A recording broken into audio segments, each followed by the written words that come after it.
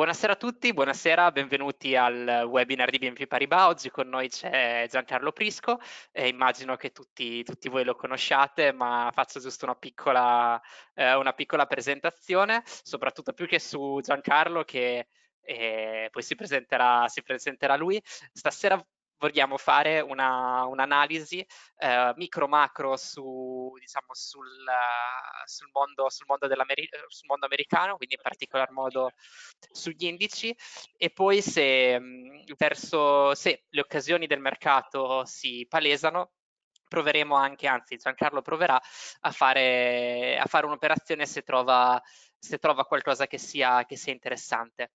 Come sempre, eh, se avete una qualsiasi domanda, un qualsiasi dubbio, se non si dovesse, non lo so, sentire bene il, ehm, quanto diciamo, non, non, abbiate paura di scrivere, di scrivere nelle, nelle, domande e cercheremo di rispondervi il, il primo possibile.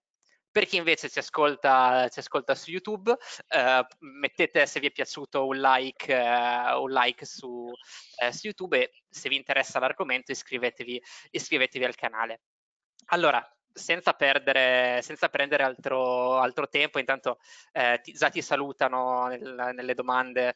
Eh, Giancarlo, ti passerei subito la parola se ci vuoi fare un po' un'introduzione su quello che secondo te è la situazione che, eh, che, troviamo, che troviamo in America. Sì, guarda, sono stati, eh, gli ultimi sette giorni sono stati molto intensi, eh, diciamo prima di eh, poter darvi un, una visione, diciamo, grafica. Mi piacerebbe fare una piccola introduzione, ma veramente pochi minuti perché eh, ho notato eh, situazioni un po' di preoccupazione, a volte anche di panico, che sono passati a tutti i livelli, dalle cripto, dalle materie prime, dal forex, dagli indici, dalle azioni.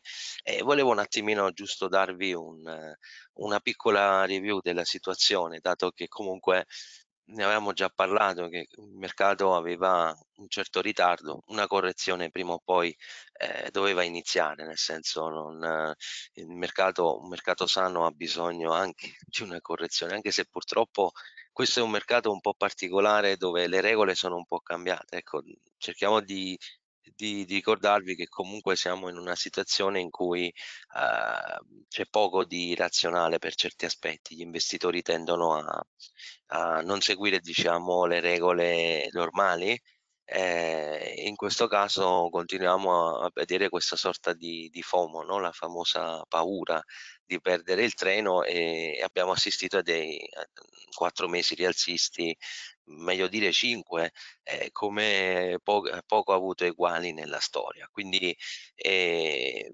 diciamo che in questo momento stanno cambiando alcune dinamiche, nel senso eh, bisogna un attimino lasciare che il mercato faccia il suo corso e dobbiamo un attimino capire che se abbiamo davanti almeno altri due o tre anni rialzisti, come vi ho detto più di una volta, questo non significa che non ci possono essere delle fasi eh, di medio dove il mercato deve necessariamente eh, scontare eh, diciamo una pausa, una maniera anche per ricaricare le batterie, per dire così, no? Per cui eh, ci sono alcuni elementi che sono un po' cambiati, nel senso noi in questo momento ci ritroviamo in una situazione in cui il, eh, un investitore dovrebbe fare una scelta nel lungo periodo tra cash e azioni. Diciamo, questo è un mercato più che eh, a volte è meglio stare fermi sulla carta ovviamente che fare qualcosa in realtà non è proprio così perché anche se eh, diciamo si, fa un, si fanno dei paragoni no? Tra ciò che eh, diciamo può essere eh, l'earning yield e il rendimento dei treasury a 10 anni abbiamo visto sta andando in negativo normalmente bisognerebbe scegliere il cash. Il problema è che questo mercato ha delle dinamiche completamente diverse dagli schemi a cui siamo abituati, per cui eh, se è vero che entrare in un mercato monetario offrirebbe un rendimento maggiore e un minor rischio, non è detto che questo sia così, perché tutto è nato un po' da quello che è successo tra la prima situazione un po' uhm, complicata che si è creata con eh, la situazione di Israele che ovviamente eh, crea una situazione di rischio sistemico. quando abbiamo questi rischi ovviamente non, non, non è una cosa facile su cui andare a, a fare eh, diciamo dei ragionamenti eh, logici, per cui mh, dovete tenere presente che le tensioni in Medio Oriente possono creare degli shock improvvisi nel mercato. Prima di tutto, eh, diciamo, abbiamo il problema legato mhmm, all'aumento delle, delle, aspettative inflazionistiche che vengono proprio da questa situazione che può, dovrebbe, potrebbe portare a ulteriori aumenti del prezzo del petrolio, anche se per ora ovviamente la situazione sembra sotto controllo, eh, ma eh, la zona in questione è una zona molto delicata, per cui in qualunque momento possono arrivare notizie che possono scombussolare il mercato. Quindi siamo in una sezione in cui i rendimenti dei bond hanno, eh, compresi anche i nostri, eh, non solo quelli americani, possono vedere i loro rendimenti spingersi ulteriormente al rialzo e questo ovviamente poi avrebbe un effetto negativo sulle valutazioni eh, azionarie. Diciamo che mh, dal mercato dei bond ovviamente abbiamo anche un rischio legato a come si vanno a a inserire gli operatori, come si vanno a riposizionare per meglio dire, e quindi eh, bisogna stare attenti perché eh, sul mercato dei bond un po', un po di tumulto c'è, e anche se ovviamente mh, le posizioni short rimangono, in realtà si sta vedendo che stanno lentamente ricomprando, anche perché c'è sempre questa narrativa della Fed che mantiene i mercati sospesi, ma in realtà eh, in questa situazione il mercato bond dovrebbe iniziare a stabilizzarsi e quindi per il futuro ci sono comunque delle ottime notizie. Il secondo rischio ovviamente che è quello legato all'inflazione, abbiamo visto Powell eh, ultimo, nel suo ultimo intervento ha creato uh, un, un, diciamo, ha, riportato un, atte, un atteggiamento attendista che, che, il mercato ha già apprezzato, ma mette ancora ulteriori dubbi su quello che eh, è il futuro del taglio dei tassi. No? Per cui in questo caso riportando di, di nuovo la narrativa higher for longer, quindi i tassi non vengono tagliati ma vengono lasciati alti e in realtà diciamo che chi sperava magari di vedere un mutuo eh, con tassi migliori a partire dall'estate potrebbe avere eh, qualche delusione. Ecco, chi magari poteva trovare dei finanziamenti a dei tassi migliori dovrà aspettare ancora un po'. Quindi questo in generale è un problema perché eh, tutto ciò sta creando una situazione negativa sul bilancio delle famiglie, del, dei, sui profitti aziendali, sul, sul potere di consumo. Questo negli Stati Uniti lo sanno, ma il problema di fondo è che eh, in questo momento, eh, in una situazione in cui è arrivato un elemento nuovo, di cui abbiamo già parlato, vi dissi più volte che per mettere pressione eh, ai mercati la Fed deve trovare un potenziale cambio di atteggiamento e questo arriva ovviamente da, dalle tensioni in Medio Oriente. Se la guerra dovesse acuirsi, eh, non ci sono le condizioni per il taglio dei tassi e quindi questo poi porterebbe a una situazione non troppo facile. Inoltre l'inflazione sta mostrando dei Giancarlo, segnali... Scusa, scusa se ti interrompo un attimo, dimmi, dimmi. Eh, per, um, mi hai dato uno spunto sul, sul tema del, eh, delle tensioni in Medio Oriente. Sì. Quello che dici, diciamo, lo condivido, ma già eh, stamattina con, uh, con, Stefano, con Stefano Serafini avevamo un attimo commentato che eh, è vero che queste tensioni geopolitiche ci sono e che è inutile e controproducente negarle. Però il petrolio, che forse è un po' il termometro, ieri ha fatto, sì. mi correggerai, ma circa almeno 3%, sì. E anche oggi, adesso qui ho Trading, trading View, ha fatto circa un altro punto e mezzo per cento. Insomma, siamo passati da quasi 80, da 86 dollari di, dell'apertura dell'altro ieri fino a oggi che ha toccato, ha toccato quasi gli 81. Sì, mm, sì, tu come, come, la vedi? Mi piacerebbe avere una tua, una tua opinione, cioè non ci sono, ci sono le, diciamo, ti do questi due estremi e tu trov- pensati libero di metterti eh, dove certo. vuoi all'interno di questi. Le tensioni geopolitiche non ci sono, sono semplicemente una cosa, chiamiamola, eh, di, di, marketing, oppure è sì. il petrolio che non, che non, prezza al momento adeguatamente questi, questi rischi. Tu dove, dove ti posizioni? Allora, guarda, in realtà, eh, diciamo, allora io sono d'accordo che siamo di, fronte, di fronte a un teatro, eh, questo è una cosa che stiamo vedendo da qualche anno, no? E, mi spiego in maniera molto semplice, ti dico, sono da, il, la, il petrolio in realtà è proprio un termometro di questa situazione perché il, il, problema di fondo è che il petrolio sale sulle tensioni geopolitiche e questo lo, lo sappiamo. Che cosa succede? Il problema è che eh, quando abbiamo questa situazione il petrolio come vedete tende a salire, ma poi ovviamente quando le tensioni scendono eh, ritorna magari su valori più eh, accettabili. Il problema di fondo è che eh, sono, allora sono stra d'accordo ovviamente che eh, nel 99% dei casi stiamo a, assistendo a un, una sorta di, eh, diciamo, di escalation che serve poi a, ad attivare talune eh, attività geopolitiche, però eh, il problema di fondo è che eh, ci sono è vero, se è vero che le riserve strategiche negli Stati Uniti sono al, al lumicino, è anche vero che eh, l'aumento di produzione da parte dell'OPEC potrebbe essere attivato eh, a partire da giugno. Quindi io in questo lasso di tempo posso dirti che se non, eh, non ci sono eh, diciamo particolari eh, cambiamenti dal, dal punto cioè, di quello che è successo nel Medio Oriente,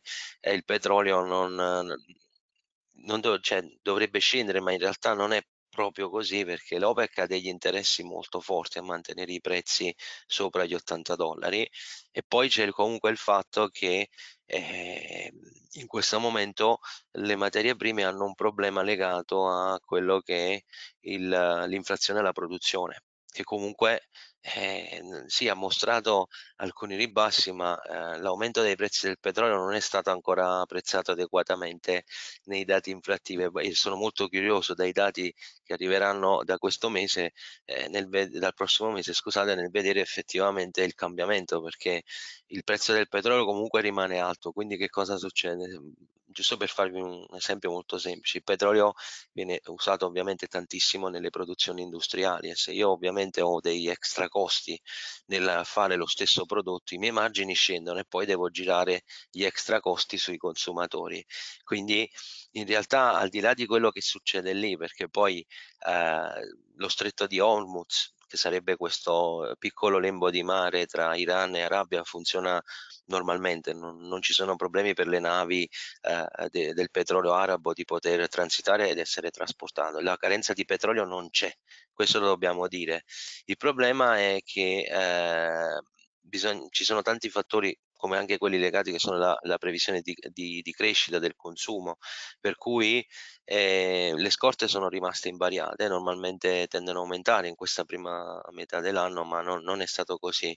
E, e anzi, se l'OPEC vorrebbe aumentare la produzione a inizi giugno, ma se non lo farà le scorte diminuiscono, quindi si farà qualunque attività per mantenere i prezzi alti non, non, parlo di numeri stratosferici perché secondo me è esagerato, però eh, il fatto che siamo già arrivati intorno ai 90 dollari, 100 dollari, questo sì provoca sicuramente qualche storno, ma non necessariamente in questo momento il petrolio è una situazione in cui può crollare verticalmente, per cui io se da una parte sono d'accordo sul fatto che le tensioni geopolitiche sono un circo, e lo sappiamo, tra virgolette, circo, d'altra parte vi devo comunque ricordare che eh, la zona del Medio Oriente è una zona molto molto complicata da gestire e eh, la presenza di tensioni che risalgono di volta in volta ci mette di fronte comunque eh, sempre uno scenario in cui potenzialmente un aumento eh, diciamo dell'escalation o, o fatti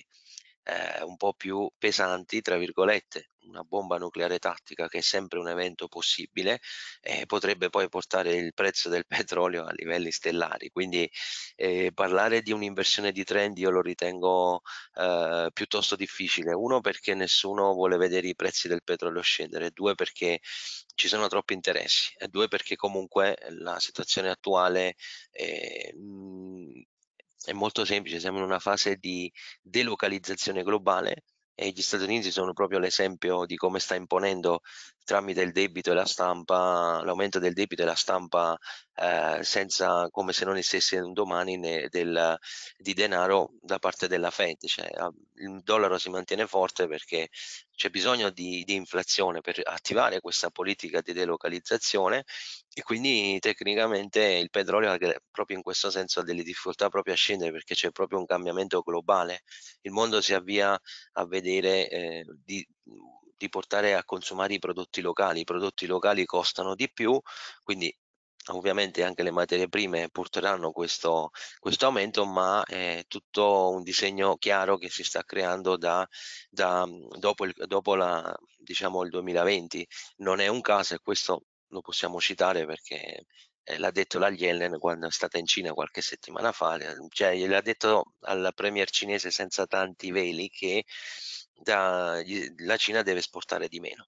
Quindi come potete capire in questa situazione eh, ci saranno ovviamente dei momenti ribassisti, il petrolio ieri ho approfittato anch'io di un piccolo short, ma da qui a vedere un cambio di trend la vedo veramente difficile, quindi in realtà vedo più una stabilizzazione intorno agli 80 dollari, ma non un ribasso sotto i 70 nel medio lungo. Ecco.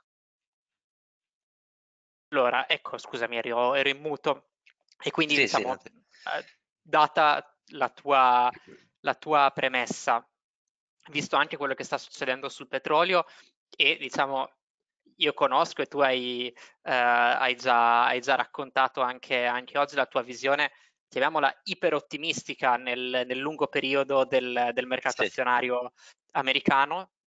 Diciamo, ottimista sembra che sia campata per aria, ma insomma c'è tutta un'analisi dietro. E, sì, sì.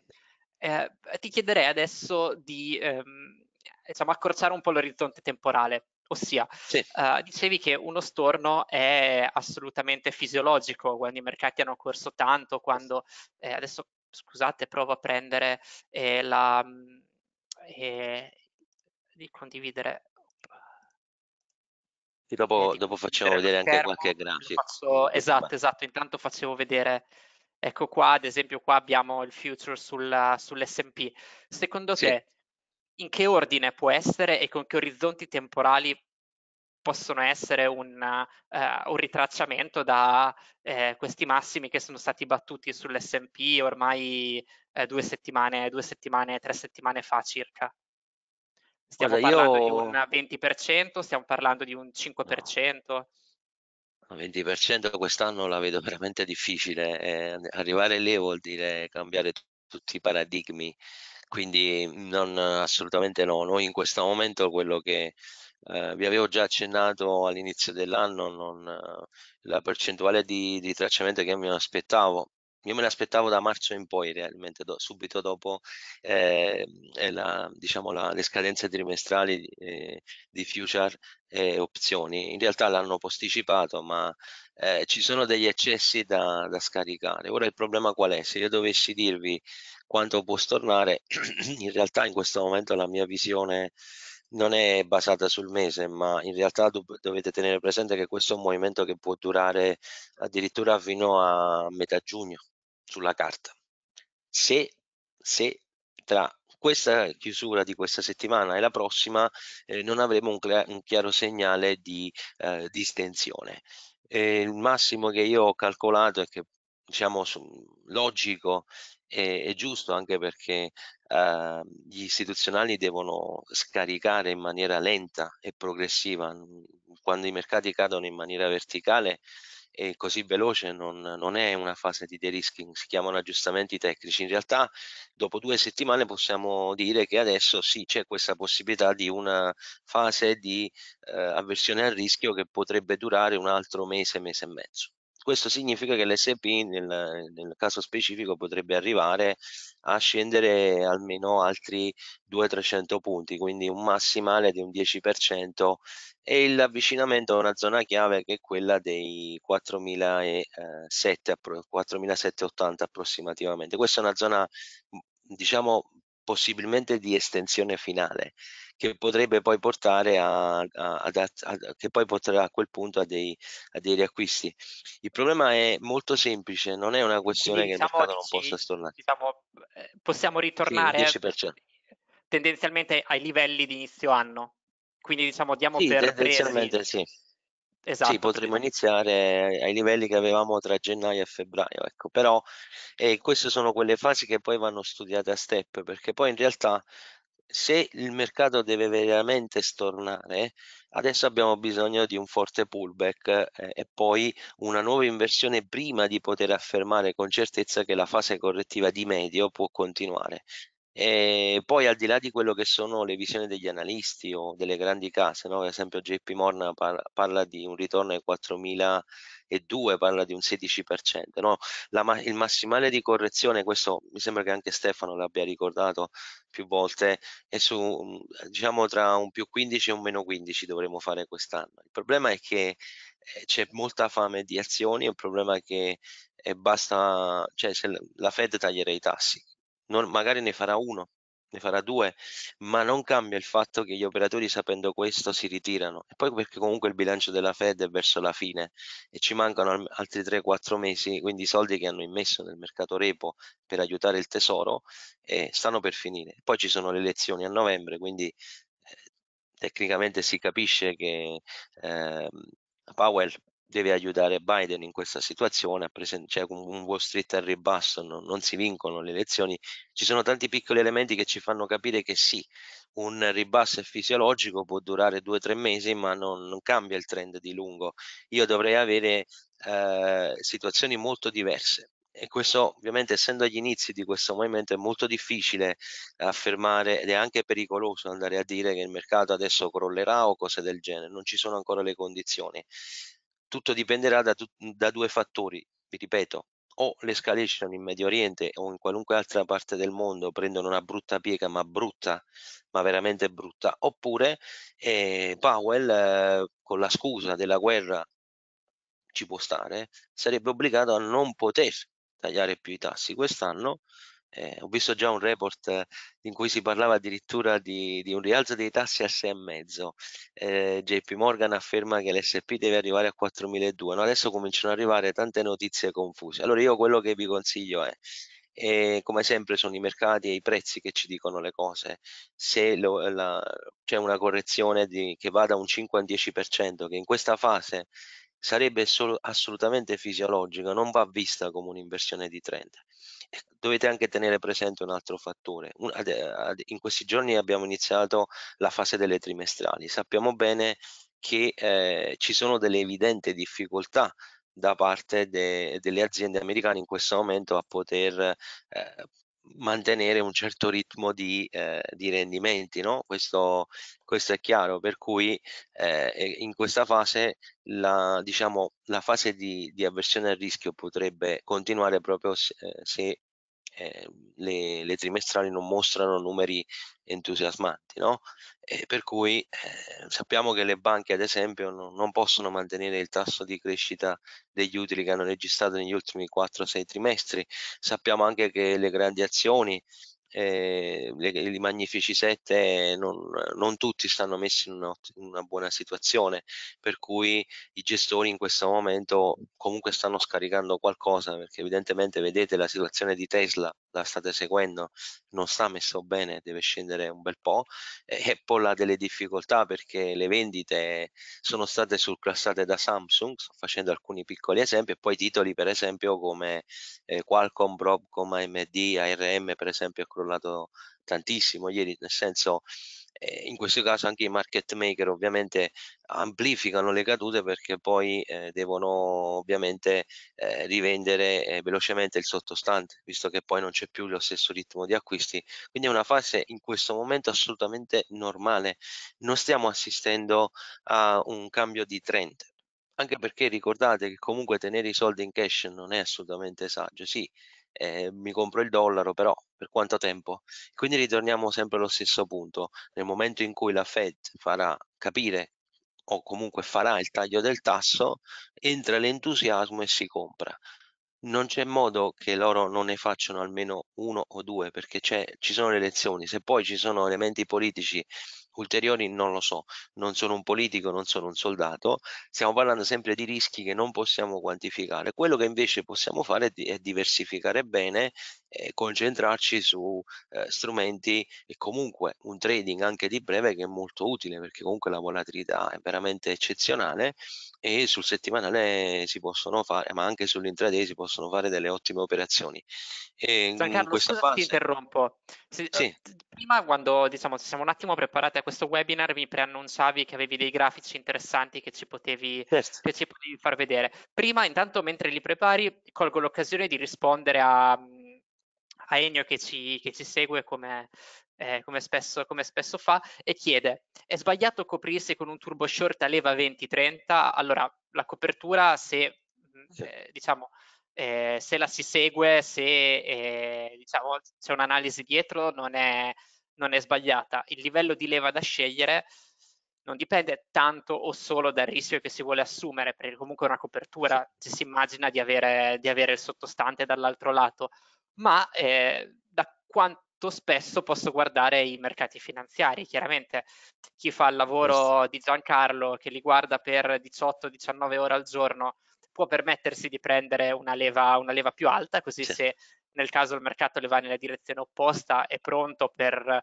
eh, per, reintegrare, per reintegrare la leva chi invece fa un lavoro diciamo, normale, che quindi per tante ore al giorno non può seguire, si può accontentare di una leva un pochettino più bassa, si compra un turbo magari con una leva 5-6 e quindi sa che prima di venire stoppato ha bisogno di un 20% o un 15%, quindi un po' più di, eh, un po più di respiro. Però come dico, non, non, c'è una leva che è sbagliata in, in, in senso generale, se uno ha tempo, passione e desiderio di seguire il mercato eh, diciamo molto, molto frequentemente. È chiaro che con una leva 30 deve mettere molto meno capitale, quindi c'è, c'è sicuramente un vantaggio.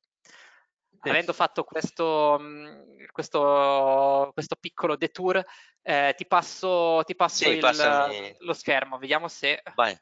riusciamo. Eccolo qua. Eccoci qua. Vedete, penso, penso che sì, adesso sì, si, si vede. vede perfettamente. No, no, semplicemente andiamo ad analizzare come abbiamo fatto l'ultima volta, analisi volumetrica e profile. Volume profile, vi ricordo, eh, sono eh, il calcolo dei volumi eh, sul prezzo, mentre le barre volumetriche sono sul tempo, che ci aiutano a vedere i punti di maggiore interesse eh, degli operatori dove di norma eh, vendono o comprano, in, soprattutto quando abbiamo fasi del genere ci aiutano moltissimo a capire queste possibilità. Come abbiamo visto finora abbiamo assistito a una leggera correzione dello standard Poor's, siamo su un 5%, quello che voglio far vedere in questo momento effettivamente eh, il grafico daily ci mostra una situazione eh, non troppo eh, bella, tra virgolette, quindi quello che a me interessa in questo momento è capire se eh, sui valori dove siamo arrivati, perché eh, quello che è interessante è come stanno lavorando questa zona su cui stanno battagliando da, da circa tre giorni tra i 5.000 eh, 60 e 5080 abbiamo assistito già potenzialmente basso un po' il time frame così lo vediamo bene eh, abbiamo assistito a un, a un po' di tafferugli su questi livelli quindi i mercati stanno cercando in qualche modo di eh, cominciare eh, probabilmente una fase di pullback eh, per riuscire ad attaccare eh, magari qualche livello precedente. Ovviamente questo non cambia la struttura di mercato che come vi ho detto eh, in questo momento eh, sta eh, preparando una fase di correzione e quindi se come vi ho detto fra, per fine mese approssimativamente non, non cambia cioè non abbiamo almeno un pullback forte per poi capire se è solamente un ritraccio o meno, i mercati dovranno scendere un bel po'. Il livello che ho indicato ovviamente a Matteo, diciamo, il livello chiave sul daily è questo punto questo è il punto di interesse maggiore, si vede anche dalla, dalla grandezza della, della barra volumetrica, l'area dei 4008, 4000 più o meno 750, questa è una zona veramente importante ed è dove potremo, questo sarebbe un 10%, un 11%, sarebbe questo il livello ottimale dove dovrebbe arrivare il mercato per poi riaccumulare e ripartire tra giugno e luglio quando normalmente inizia eh, un movimento importante al rialzo dei mercati. Questo ovviamente non è un movimento che può essere fatto così velocemente perché non, non è nello, cioè non, gli istituzionali non lavorano in questo modo, dovete sempre ricordare che gli istituzionali devono distribuire le loro posizioni, non possono entrare di colpo perché altrimenti crollerebbe il mercato, non avrebbero controparte. Questa è una cosa che eh, molti dimenticano, ma Ve lo devo dire perché poi magari uno vede una chiusura daily di un l'1% e allora dice il mercato crolla. No, assolutamente no, sono aggiustamenti tecnici, si sono scaricate un po' di posizioni sui tech, abbiamo, eh, abbiamo comprato magari un po' di utility, cose tipiche che si fanno in queste situazioni. Noi in questa fase ovviamente eh, posso dire che già il movimento di oggi, magari lo vediamo su 15 minuti perché possiamo anche eh, qui eh, diciamo avere un'idea di quello che è successo nel, negli ultimi giorni. Vedete su questi valori ci sono degli spike continui su quest'area dei 5050, c'è stato un interesse concreto nel bloccare la caduta. Questo non significa che il mercato è diventato long perché abbiamo bisogno almeno, almeno, almeno di dovremmo tornare sopra i 5.200 per farvi capire, per riuscire ad avere poi una nuova fase di uptrend, ma non abbiamo minimi crescenti, quindi andiamo proprio analisi tecnica basica, i volumi sono ancora troppo bassi per aver assorbito tutta l'offerta, però in realtà sul breve ci sono delle opportunità di, eh, di recupero, questo è un mercato che ovviamente va va seguito giorno per giorno, come giustamente vi ha detto prima Matteo, se volete fare delle coperture con una leva alta eh, dovreste, dovreste seguirlo, magari utilizzare una leva leggermente più bassa non sarebbe una cattiva idea, così avrete anche modo di far eh, respirare molto meglio l'operazione, evitare magari eh, di beccare lo strike il knockout, meglio dire, più livello di knockout più rapidamente. Questo lo dovete tenere in conto. Quindi Prendendo l'SP vedete ci sono delle opportunità eh, potenziali tra oggi e domani magari di vedere un uh, rimbalzino, però dal, livello, dal punto di vista grafico, devo essere onesto, se abbatteremo i 5.000 punti che sono un po' un livello psicologico, questo, questo è quello che andremo a vedere nei prossimi giorni, questa zona qui è facilmente vederla come estensione, poi probabilmente da qui il mercato può cominciare lentamente a eh, risalire tutto dipenderà dalla, da, come viene, eh, da come sarà l'evoluzione della situazione dell'inflazione, eh, dai comunicati della Fed e da quello che succederà nel mondo con l'escalation. Quindi essenzialmente dovete capire che nella situazione attuale eh, scaricare è la scelta più logica ed è la cosa assolutamente normale. Che lo scarico sia finito? Assolutamente no, un altro 5% non lo posso escludere, sarebbe, ripeto, assolutamente fattibile. Che poi magari fra in una settimana cambiano tutto, c'è questa possibilità. Io qualche segnale proprio oggi lo sto vedendo dai mercati della volontà di stabilire almeno un minimo di supporto. Lo possiamo vedere anche su eh, magari sul, sul Nasdaq, se andiamo a vedere l'indice preferito eh, dei trader intraday anche il Nasdaq ha effettuato un certo ribasso, ma non è proprio un ribasso enorme. Anche qui i livelli da monitorare sono, sono pochi, ma sono chiave, soprattutto l'area che secondo me è attaccata è questa intorno ai 16.800, 17.000, eh, dove potremo sì trovare un degno supporto che potrebbe poi attirare ulteriori capitali. Eh, per quanto il retail americano magari spinge nella direzione dei megatech o eh, magari si prende un certificato di deposito temporaneamente o compra qualche fondo monetario, in realtà il problema di fondo è che eh, sono troppe poche le azioni che mantengono eh, l'indice tecnologico al rialzo, quindi eh, il cedimento di qualche azione dei, dei, magnifici 7, come può essere anche Apple che non sta attraversando una fase eh, piacevole, potrebbe portare a ulteriori crolli, quindi un 10% sul Nasdaq sarebbe assolutamente fattibile. Per andare oltre poi dovremmo verificare ulteriori condizioni. Graficamente però se vedete bene il Nasdaq non è ancora in una fase di correzione come quella dell'SP. Se è vero che qui avete visto un'accelerazione al ribasso, siamo ancora in una fase di minimi crescenti. Quindi in realtà non è cambiato assolutamente nulla. Nel senso, l'SP, eh, scusate, il Nasdaq è rimasto comunque in linea con il movimento precedente. Questi movimenti qui ne abbiamo visto tanti, sono assolutamente normali. Nel Nasdaq abbiamo raggiunto anche alcuni livelli chiave, no? come erano i 5000 e 2 dell'SP, i 18.005 che erano i primi target che vi indicavamo e ovviamente cioè, è assolutamente normale che magari vedere meno 1000 sul, sul Nasdaq, meno 1000 punti sembra qualcosa di incredibile, non lo è, però senza ombra di dubbio anche qui per avere un ulteriore rialzo anche qui dobbiamo eh, mantenere un po' di pazienza. Il Nasdaq tecnicamente è quello che ha più facilità a risalire in questa situazione propriamente perché eh, dovete capire che nel momento in cui si, eh, ritornano gli elementi di, di, acquisto, quindi la Fed che taglia i tassi, si calmano le situazioni, eh, ma in realtà la borsa tutto sommato non, non dovrebbe subire grossi scossoni anche perché la liquidità, mhmm, la Fed segue il mercato, l'ha gestita bene la situazione della liquidità, quindi non vedo grossi problemi all'orizzonte.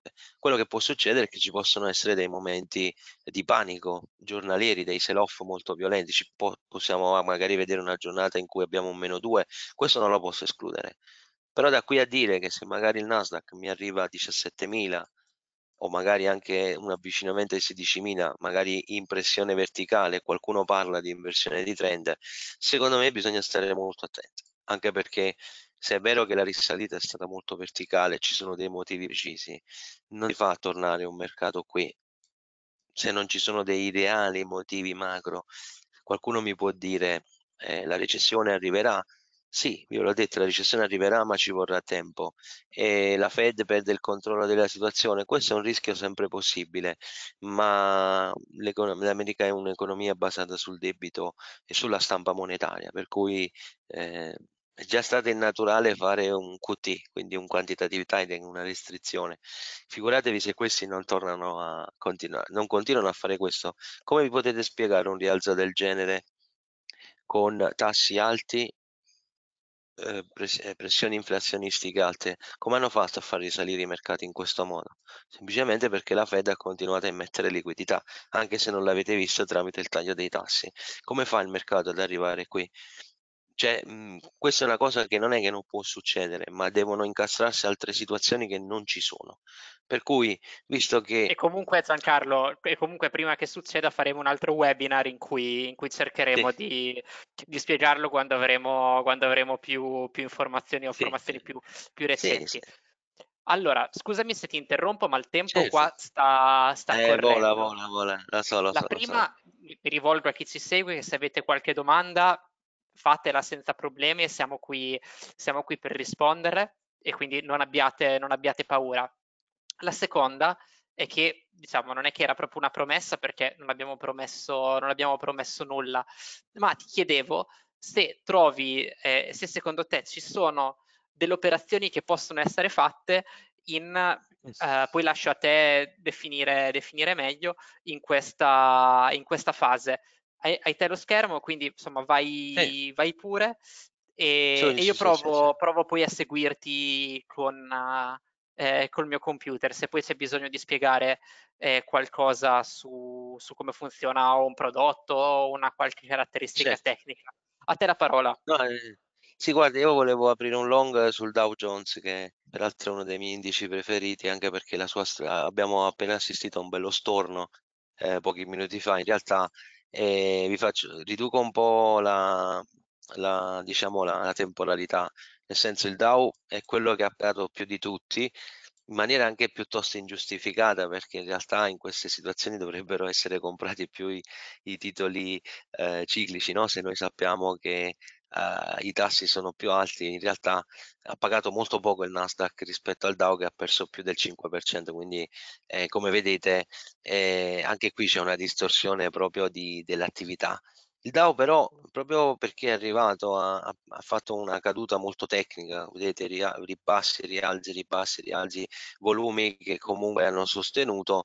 Eh, io soprattutto dal giorno 16 ho visto proprio una potenziale fase non accumulativa, però almeno una fase di distensione che potrebbe continuare nei prossimi giorni, magari portare dai 2 ai 300 punti di rialzo dai valori attuali.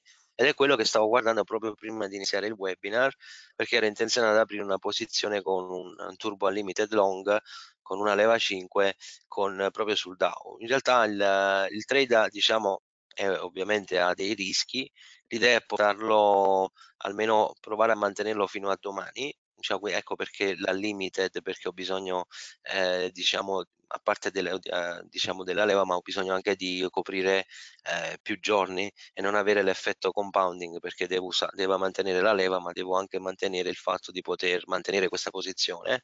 Però vedete, anche se adesso sta effettuando un movimento a ribasso e magari scende un po' di più, in realtà oggi gli indici hanno dato un primo segnale serio di potenziale, non giro rialzista violento, ma un potenziale pullback molto interessante. Si vede anche dalle pressioni che hanno messo a livello volumetrico, sia a livello di tempo vedete ogni ribasso è stato assorbito e soprattutto anche il fatto che su questo eh, profile molto spesso sono state effettuate delle accumulazioni tra ieri e oggi. Quindi lo spike io in apertura l'ho potuto prendere e eh, adesso mi aspetto un, una, una continuazione almeno per un paio di giorni. Ecco, poi se venerdì vedo che la cosa va veramente bene, provo a mantenerla. Dipenderà ovviamente anche da quello che sta succedendo in Israele, eh, tra Israele e Iran. Dovete capire che poi questo sono elementi che potranno pesare. Quindi ho già preparato il mio eh, Dow Jones Turbo Limite Long e la quantità diciamo un conticino da 4.000 quindi metteremo un circa 300 euro. Vedete anche qui uh, BNB vi, vi, aiuta immediatamente e so, già la quantità che devo andare a comprare quindi tre pezzi.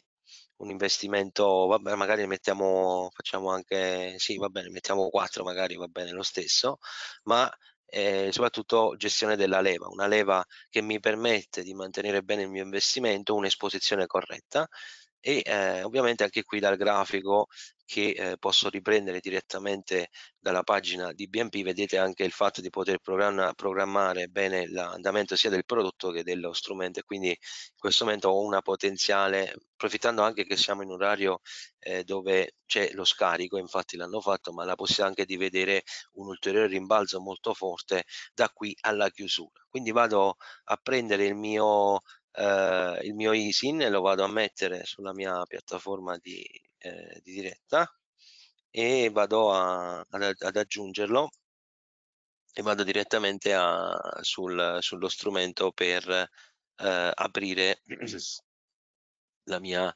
eh, posizione. Eccolo qua.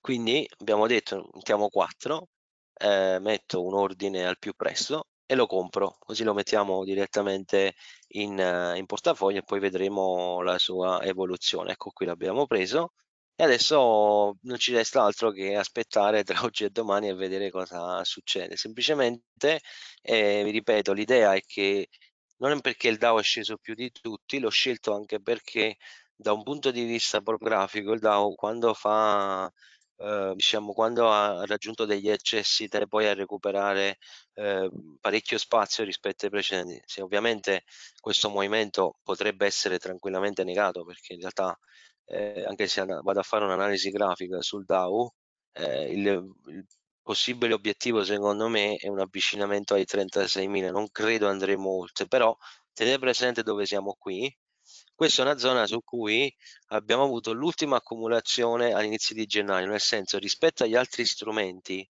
il DAO ha già toccato i minimi, cioè i minimi che abbiamo avuto a inizio anno. Quindi una reazione qui potente ci sta. Ci sta il fatto che loro hanno immesso dei volumi importanti e ci sta il fatto che il DAO è quello che ha pagato in maniera eccessiva rispetto agli altri due indici, quindi se il Nasdaq e l'S&P non hanno raggiunto i livelli di gennaio, il Dow l'ha fatto, quindi mi aspetto una reazione importante, soprattutto dai volumi che sono entrati, ma anche della zona dove siamo, quindi l'ideale sarebbe cercare di avvicinarsi intorno ai 38.600, 38.500 e questo ecco, movimento... Scusa, scusa, Giancarlo, scusa se ti interrompo, sì. c'è una domanda giusta e molto interessante, eh, dove... Sì. Ehm dove metteresti uno stop?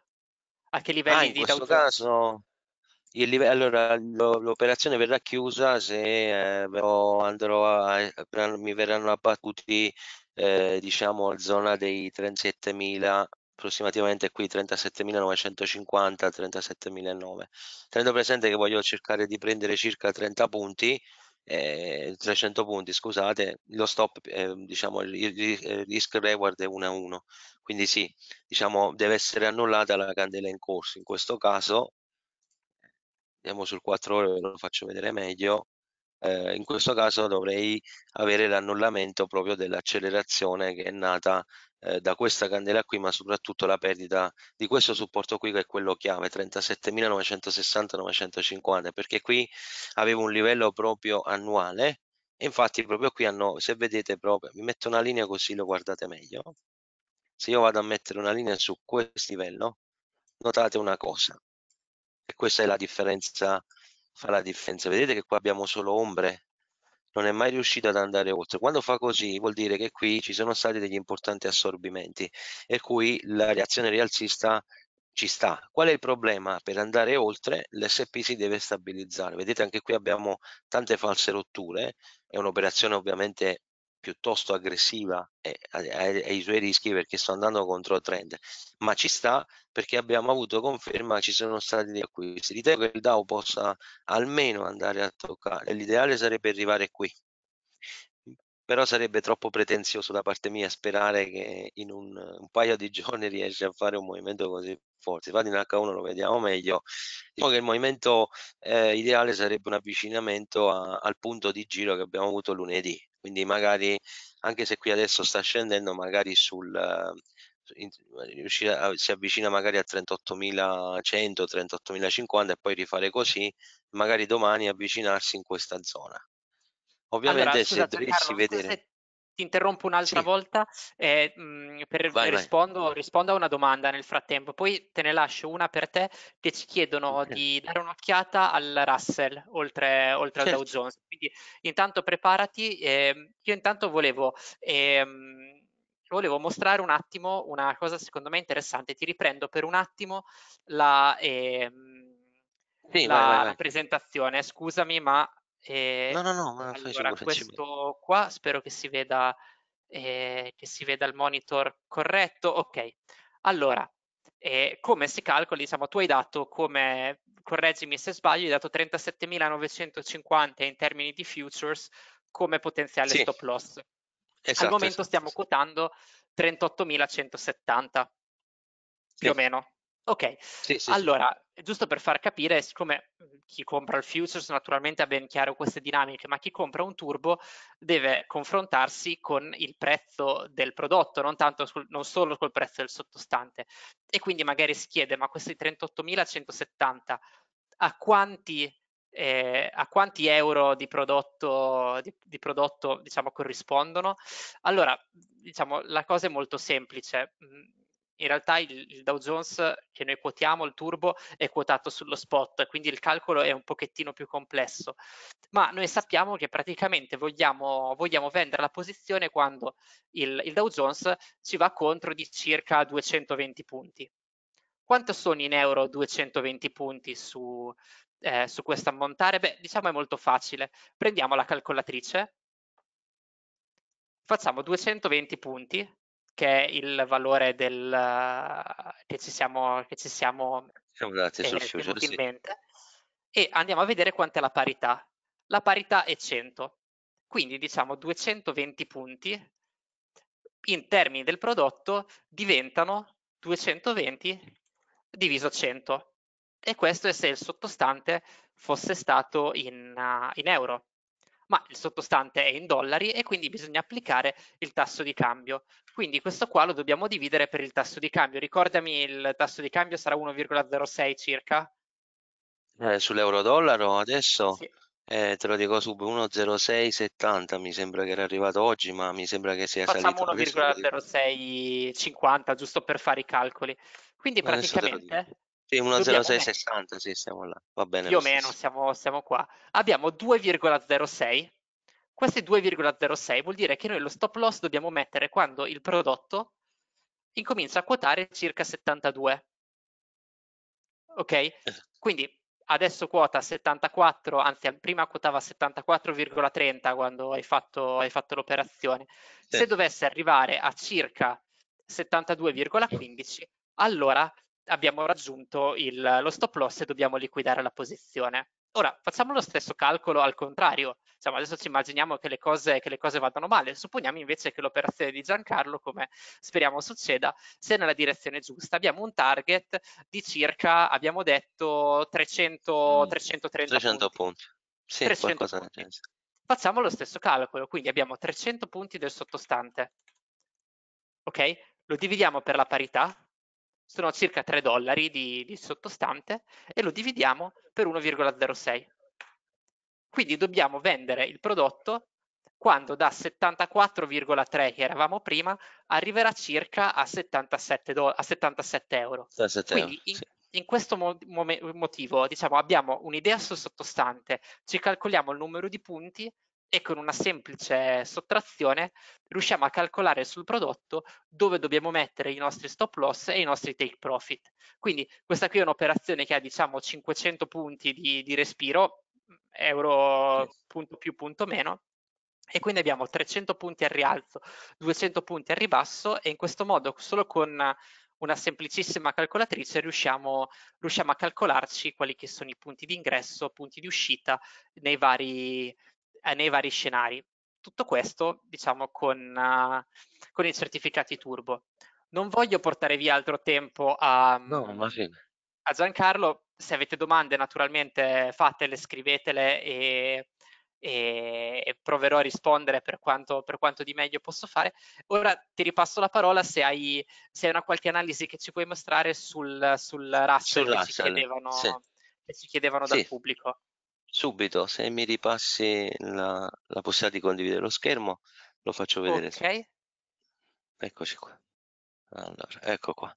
Allora, sul Russell eh, non, non l'ho fatto volutamente perché non tutti lo chiedono, ma sì, Russell in questo momento è in una fase molto interessante anche perché... Anzi, scusa, um, guarda, ehm, un'ultima cosa Giancarlo che ti, ti interrompo sì. per un'ultima volta. Se vi interessa in particolar modo il, il Russell è un, un, indice che analizziamo molto spesso nostra, nel nostro show giornaliero, il Morning Trading Show al mattino, proprio per confrontare i titoli value, ossia quelli diciamo, del Russell, e i titoli grow, eh, growth, eh, che sono principalmente diciamo come proxy usiamo quello del Nasdaq, quindi per cercare di trovare delle rotazioni settoriali. Se è un tipo di analisi che vi interessa, eh, sul nostro canale YouTube eh, Investimenti BNP Paribas tutte le mattine eh, parliamo spesso di questa cosa. Scusami l'interruzione, ma... No, ma eh, ci sta. Ci mancherebbe. Guarda, del, sul Russell abbiamo un'ottima domanda anche perché è un indice che ha delle, una peculiarità molto importante secondo me. Eh, il fatto di avere 2000 uh, small cap eh, singolarmente presi e sono molto volatili, ma la loro strutturazione nel, nell'insieme crea un equilibrio molto maggiore rispetto allo standard Poor. Quindi magari anche se abbiamo assistito a, a un movimento piuttosto importante, in realtà eh, dovete tenere presente che il Russell tendenzialmente lavora in range molto ampi, vedete anche, tranne ovviamente quando abbiamo avuto questo crollo, eh, nel 2022 vedete che dall'anno scorso ha fatto un'accumulazione molto importante, quindi eh, il Russell secondo me è un indice che ha delle ottime potenzialità, tiene almeno un 40% di sconto rispetto agli indici di quello che può fare in termini di performance. Il problema è che eh, dobbiamo un attimino capire se abbiamo una strutturazione eh, diciamo di accumulazione o meno. Questa ancora non è chiara, però il Russell si è fermato esattamente in una zona dove poi potrebbe crearsi dei disequilibri, quindi 1952 1950 circa, che poi vedete anche qui quando abbiamo queste zone prive di volumi, qui possiamo avere delle forti accelerazioni, quindi il rischio di vedere i 1868 nei prossimi due mesi è possibile, ma secondo me sarebbe una grandissima opportunità anche perché il Russell è quello che tra gli indici meno eh, che sono, sono saliti di meno e sono quelli comunque che hanno molto più sconto quindi sapendo che comunque le small cap di solito sono quelle che partono eh, alla fine, diciamo, rispetto agli altri settori, eh, di norma eh, abbiamo diciamo, dei movimenti interessanti, soprattutto in questa parte dell'anno e a fine anno. Io eh, ovviamente non posso che però ricordare di fare molta attenzione perché la zona dove si è fermato qui è un livello molto delicato, nel senso eh, chi magari volesse fare un acquisto deve tenere presente che se dovesse abbattere questo minimo eh, dovrebbe utilizzarlo come livello di stop perché potrebbe avere un'ulteriore oscillazione ribassista. Però da un punto di vista proprio diciamo accumulativo, se dovessero fermare un po' la situazione, potrebbe iniziare una fase accumulativa. Il Russell di solito non fa movimenti così, ma il Russell di solito fa delle accumulazioni su, sui range per eh, varie settimane. Quindi il livello attuale è molto interessante, ma non abbiamo ancora purtroppo una conferma di una, è solamente una piccola reazione sul, sul settimanale. In realtà sarebbe davvero interessante se dovesse arrivare qui. La cosa si fa veramente interessante, però eh, eh, devo vedere un, cioè in questo caso dovete aspettarvi un sell-off molto più forte anche sugli altri indici. Ok, ok, grazie, grazie mille. Eh, sempre interessante guardare anche un po' quella che è forse l'economia un po' più reale del, eh, del, del mercato, del mercato americano. E, ehm, c'era una domanda prima, adesso la vado, la vado a riprendere perché Sì, secondo dimmi. me è interessante, era un po' fuori tema rispetto a quello che, di cui parlavamo prima, ma era comunque eh, interessante. E, oddio, vediamo se riesco, se riesco a ritrovarla. E, ehm, ok, ecco qua. Allora, eh, racconta una, una, un investitore che mh, mm, è long sul Bund e short sull'oro, più o meno dai livelli attuali, quindi al momento non è né in gain né in loss. Scomponiamo le due parti del portafoglio. Sei d'accordo con l'essere long sul Bund? Sei d'accordo sull'essere long, essere short sull'oro? Cosa, come, come la vedi?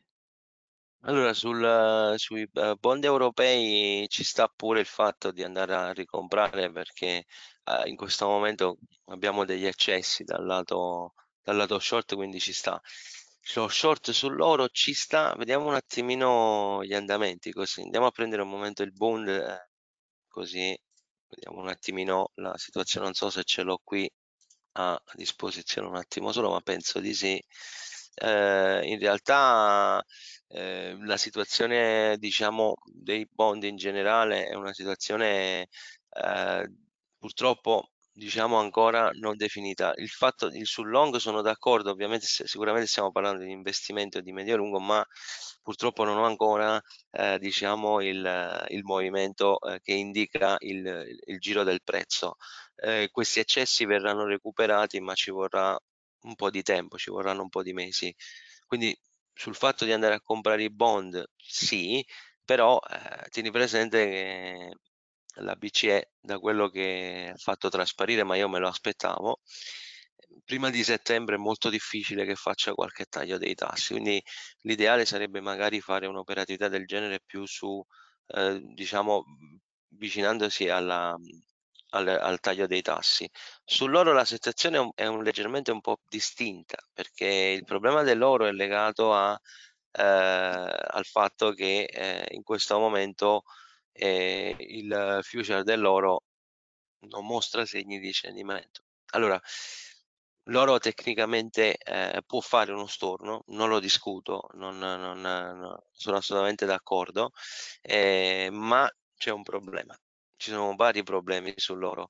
Prima di tutto il problema è legato al fatto che eh, l'oro eh, è uno strumento che in questo momento di incertezza viene comprato, c'è il problema dell'inflazione, viene comprato. La Cina compra l'oro fisico perché vuole poco a poco uh, provare in futuro, non, magari non troppo lontano, ma diciamo ci vorranno tanti anni a sostituire lo yuan con il dollaro e non c'è nessuno che vuole vendere ne parliamo proprio su House of Trading con Stefano quando ho partecipato anch'io che proprio, il problema è proprio la, la mentalità degli investitori in questo momento, nessuno vuole vendere oro, anzi, soprattutto aggiungendo anche il fatto che ci sarà una politica di taglio dei tassi che verrà in qualche modo fatta e l'oro è super rialzista.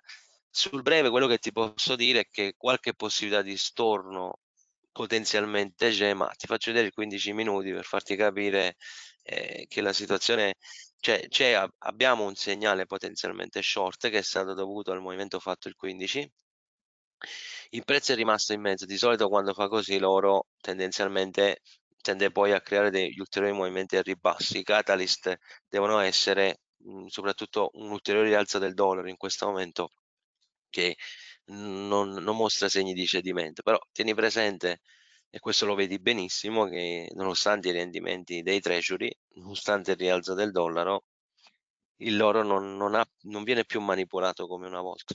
Ecco perché, anzi, qui stiamo assistendo a una manipolazione al rialzo. Farei un po' di attenzione o comunque stabilirei dei livelli di uscita.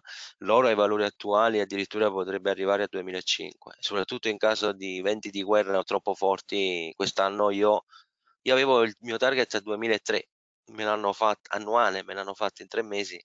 Se le cose dovessero peggiorare addirittura non solo i 2005 ma anche i 3.000 dollari. Sul breve l'unico modo per scendere è quella di vedere almeno la rottura di, di questa zona qui dei 2350, nel senso qui mi aspetto che ci sarà un, un, tentativo di ritorno su questa zona, ma per avere un potenziale short che potrebbe portare i prezzi sui 2002, approssimativamente diciamo questa è la zona 2002-2280, questa è un po' diciamo una zona dove potrebbe andare a ritestare. In realtà eh, questo, questa situazione si attiverebbe solo sotto i 2350 ma deve essere poi perso sul settimanale loro proprio in questo momento non te la senti di, un po'.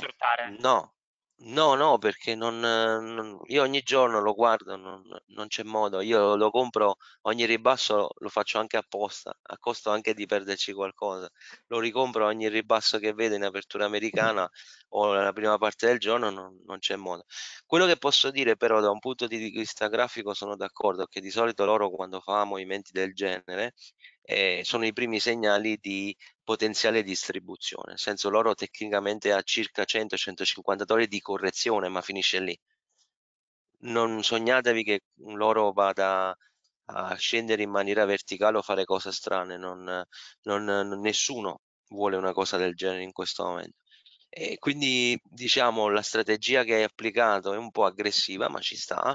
L'unica cosa è che loro deve, deve, deve dare un segnale molto più forte, nel senso io vi ho messo un time frame più basso poi per farvi capire com'è la, l'evoluzione. Se è vero che abbiamo una potenziale distribuzione, i livelli dove sono andati a puntellare, vedete, quando sono iniziati i ribassi, ogni volta viene bloccato. Allora, di solito quando fanno così, poi ci ritornano, quindi alla fine la chance di vedere un ribasso c'è, ma io voglio vedere almeno questo, cioè io per provare degli short anche proprio a livello di trading, no? che sia trading intraday o settimanale, voglio vedere questa zona persa. Allora lì in quel caso ti do ragione e potremo avere un ribasso dai 50 ai 80 dollari, ma se la cosa rimane così, io non, non nascondo che vedo un'ampia possibilità di vedere anche i 2005 eh, nelle prossime settimane, quindi andare a shortare l'oro è piuttosto difficile in questo senso, ma proprio per il modo con cui viene aggredito, non perché l'idea sia sbagliata, ma il mercato non dà nessun segnale